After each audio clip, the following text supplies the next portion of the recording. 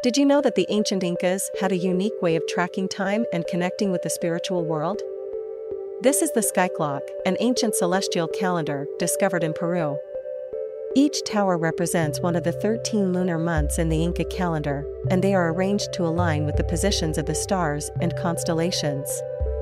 The towers were also carefully calculated to correspond with important locations and landmarks, such as sacred mountains and temples, creating a network of spiritual energy that was believed to connect the Inca people to their gods.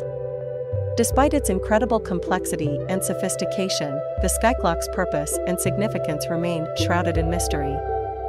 Some experts believe it was used to predict astronomical events, while others suggest it was simply a way to mark important dates in their calendar.